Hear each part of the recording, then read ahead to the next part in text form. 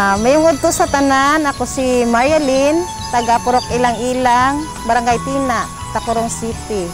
Ah, nagatanong ako sang gulay para may ara kami pang adlaw-adlaw nga pang pang pang sudan nga nang hindi hindi na kinahanglan nga magbakal ka pa sang imo nga gurulayon sa sa adlaw-adlaw kag para man sa ginagmay nga ro negosyo nga makabubaligya ginagmay makabulig-bulig sa adlaw-adlaw nga kinahanglanon ang impact sang programa sang LGU sang Takurong DSWD kag DA ah, sa pagbaligya namon kada Lunes kag Biyernes. Bangod kay may ara nagikuan kami sang income namon nga bisan ginagmay lang pero sige-sige. Amo lang ina kag madaming salamat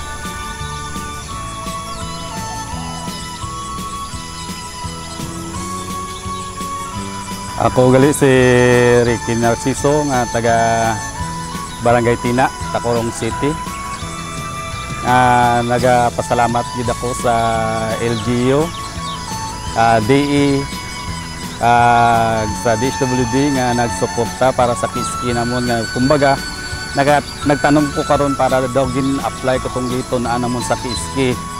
Ah, para nga pabulig sa amon pagkaon pag pangabuhi.